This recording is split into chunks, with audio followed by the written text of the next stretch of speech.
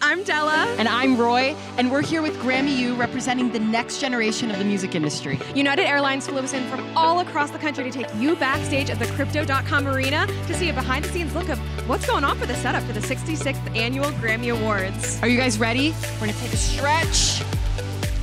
All right. And let's, let's go!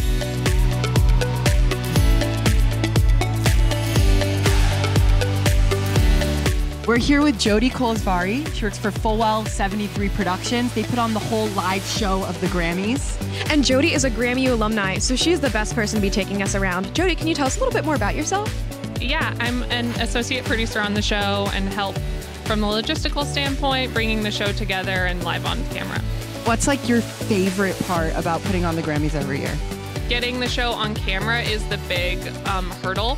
So once the show's happening, it's really just troubleshooting as problems come up. Amazing. Well, we're going to go meet some awesome people. Come with us. The thing with these shows is every little bit matters. Like every little piece of music, every little graphic, like everything matters. So I think it's just thinking about it creatively. Like we do have kind of like a tone for the show. And so the idea is to kind of like fit that tone. What does real time feedback look like with artists? Or do you get all of that done ahead of time during sound check? We get, I would say, about 40% of the artist real time what they want. As soon as their monitor mixer shows up, their engineers show up, they will go straight to stage and talk to Billy, who is my assistant. And Billy just starts firing off requests, and that's how we get it done.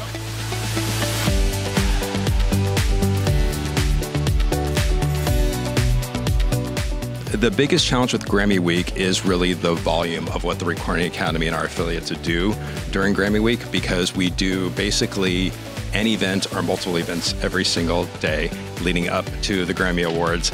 And while you're at one event, uh, producing it, putting it on, you're also preparing for the day, the next day and the next day and the next day.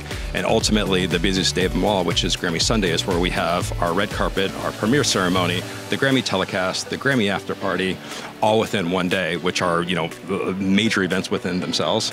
And then having them all happen simultaneously back to back, it's you know it, ta- it takes a village for sure.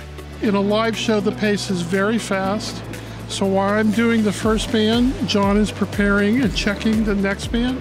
The next three days, we are going to rehearse all the bands, make a lot of notes, learn the songs, and you and then you ingest that.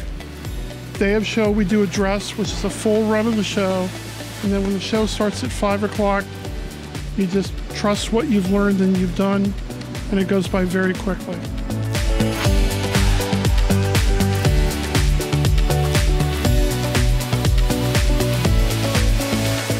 That was so fun. I love learning about all the areas of production. We learned a ton of information. Yeah. Folks at home, make sure to tune into the Grammy Awards on CBS and Paramount Plus at 8 p.m. Eastern Time, 5 p.m. Pacific. Enjoy the show! Woo!